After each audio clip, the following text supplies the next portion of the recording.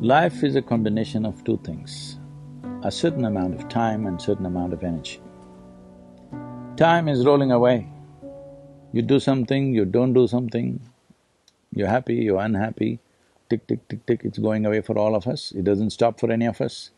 We cannot say, today I didn't use it, let me roll it back. There's no such thing. Time is just rolling away. So the only thing that we can manage is our energy.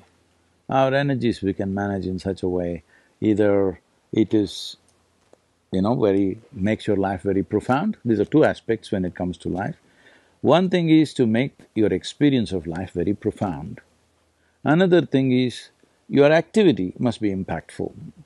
I think you guys are overly focusing on your activity being impactful, not invested on making your life profound.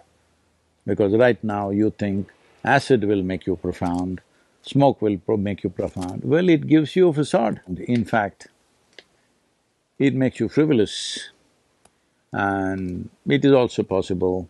I'm telling you, during my time, I'm saying uh, when I was in university, I…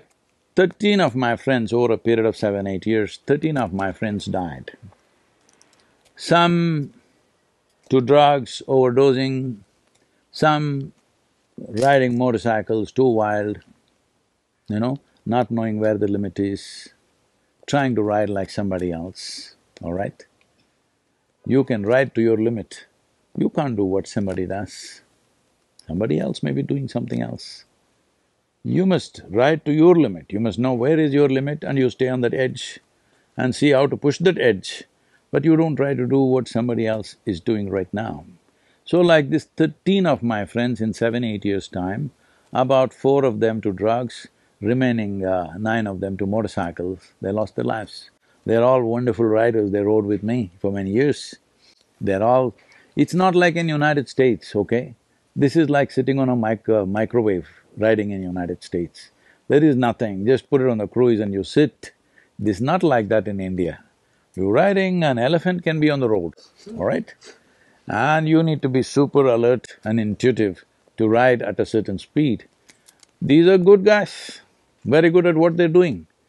But somebody drinks and drives, you know, rides.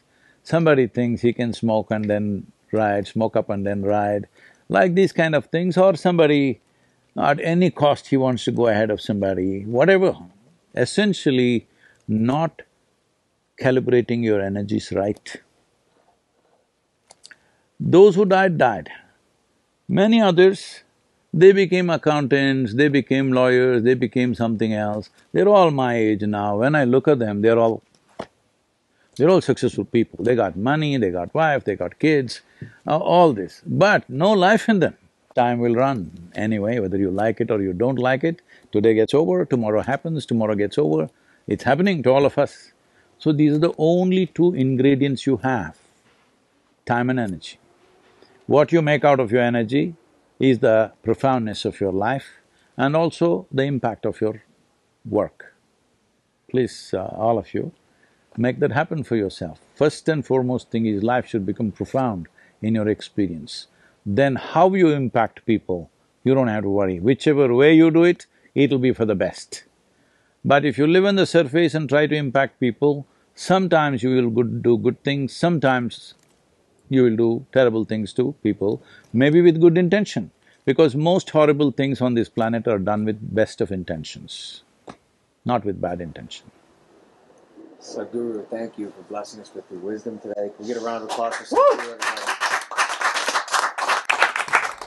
to them.